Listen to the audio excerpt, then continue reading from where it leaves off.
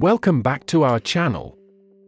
Today, we have an exciting update on the Philippine Navy's modernization journey, specifically focusing on the recently upgraded BRP Gregorio del Pilar PS-15.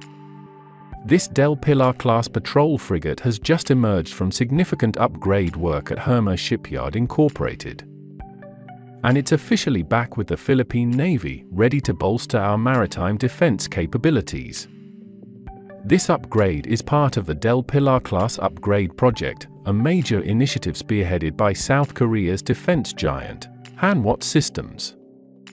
Under this project, the Philippine Navy aims to bring these aging Del Pilar class ships up to a higher standard, outfitting them with state-of-the-art equipment that can tackle modern threats in the maritime domain. The upgrades include new air and surface search radar, hull-mounted sonar, a new combat management system, FLIR cameras, and various other sensors and electronic systems essential for 21st century naval operations. So, how did this collaboration unfold? Hanwha Systems, which won the project, supplied the necessary equipment and technical expertise. But it was Herma Shipyard in Bataan, Philippines, that took on the crucial task of installation, acting as Hanwha's trusted local partner. Herma Shipyard installed these systems on board PS-15 and ensured that each component met the specific requirements of our Navy. This collaboration shows the strength of combining international expertise with local manufacturing capabilities, a step forward for Philippine defense self-reliance. Interestingly, not all of the technology comes from South Korea.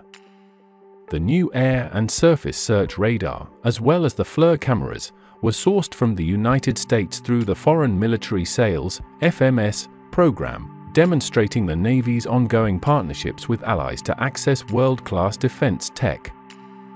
The sonar, which was the final component to be installed, required the frigate to enter a dry dock so that workers could access the hull, marking a key milestone in the final phase of the upgrade process.